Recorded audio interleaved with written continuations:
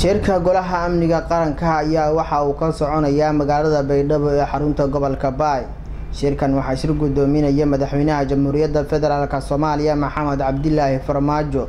waxaana ka qeybgalaya ra'iisul wasaaraha xukuumadda federaalk soomaaliya mudane xasan cali khayre madaxda maamul goboleedyada soomaaliya gaar ahaan puntland galmudug hirshabelle koonfur galbeed iyo jubbaland waxaana looga arinsanayaa sidii dowladda dhexe ee soomaaliya iyo dowlad goboleedyada ay isaga kaashan lahaayeen amniga soomaaliya.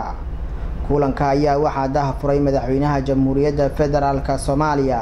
waxaana wararkaanu ka helayno magaalada baydhabo ee xarunta gobolka baay ay tilmaamayaan in madaxda iminka ay yeelanayaan kulamo gaargaar ah oo ay kaga arinsanayaan qodobadii shirka laga soo saari lahaa madaxweynaha jamhuuriyadda federaalk soomaaliya maxamed cabdilaahi farmaajo ayaa dhanka kale la tilmaamay in kulan gaar ah uu la yeeshay madaxa xukuumadda galmudug sheekh maxamed shaakir cali xasan oo ku sugan magaalada baydhabo ee xarunta gobolka baay islamarkaana ay wada falanqeeyeen. Sidii xal waara looga gaari lahaa khilaafka la tilmaamay inuu ka dhex oogan yahay